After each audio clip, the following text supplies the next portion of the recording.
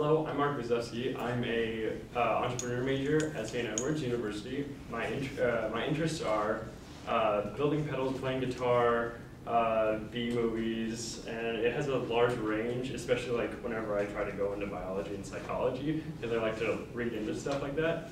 Um, I don't really have huge plans for the future. I just kind of want to build small independent uh, uh, businesses and um, I previously worked for several indep- independent uh, businesses and com- uh, pedal companies, and I kind of want to find my own pedal company and move with that.